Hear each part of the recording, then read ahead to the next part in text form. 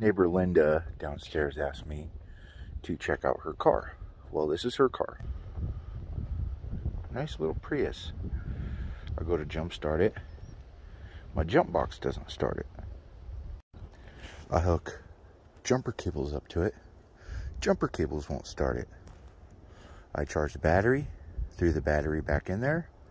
I think I waited too long after charging the battery because the battery does not have any power to it. So you would think that the battery is totally toast, which is my assumption. Well, I come here to the back because the battery is in the back of the car, which is dumb. And to what I discover, oh yeah, that's water.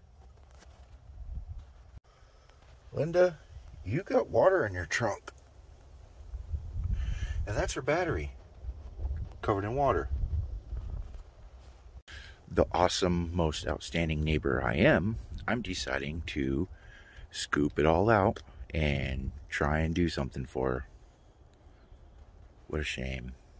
FYI, that water is c-c-cold I don't think I'm going to be able to get this one-handed.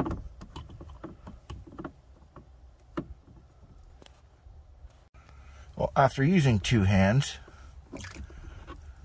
oh my God, that's so cold. That is so cold. Fingers instantly turn red.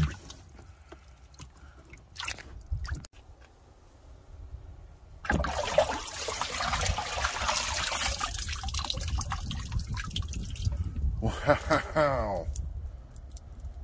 Swimming pool. Well, it looks like I don't have to scoop it out.